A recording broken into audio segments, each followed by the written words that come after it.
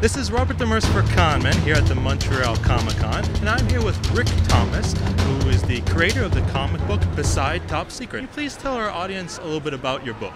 Uh, well, it's uh, it's a paranormal, conspiratorial, UFO, Bigfoot kind of thing. Uh, tagline: It's uh, Mad Magazine meets uh, Alex Jones. And uh, what kind of uh, is it humor based?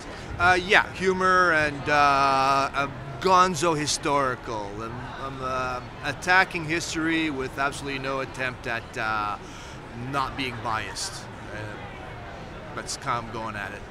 What made you decide to take on this type of book?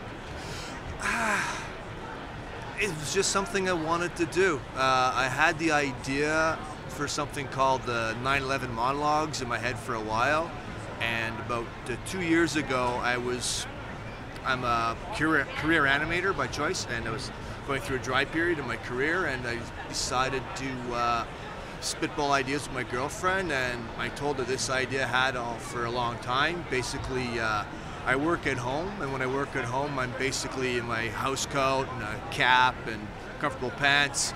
And I explained to her I had this idea for um, uh, a Fringe Festival show where I would just basically go on stage and dress like this and talk about 9 11. Uh, that cracked her up. I got a good response, and since I have no acting experience whatsoever, I decided I might just take a baby step and try and illustrate it. And uh, I discovered I love the medium, uh, which is something I should have known when I was eight, but uh, oh well, better late than never.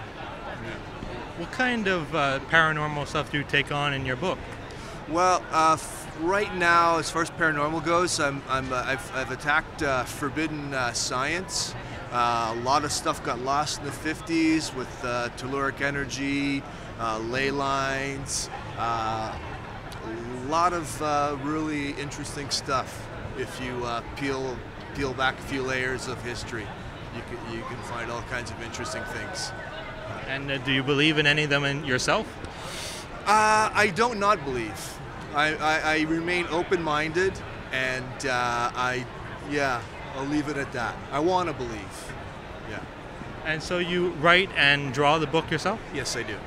Uh, what kind of inspiration do you get when you're designing the uh, paranormal creatures or specifically uh, stuff that you wouldn't actually see and put your own spin on it? Well, there's lots of research that goes into one of these. Um, and I'm not very fast, so I tend to make a lot of rough drawings before I get to my final page. Uh, where can people find your stuff? Well, you can find it online at uh, besidetopsecret.blogspot. Uh, I, you can find me in Toronto at Conspiracy Culture. In town, Montreal, I'm at uh, Millennium. Uh, where else? Studio 9. And one more place that is escaping my memory right now. Check your local comic shops. Well, thank you very much for us, and I hope you enjoy your rest of the time here in the Montreal Comic Con.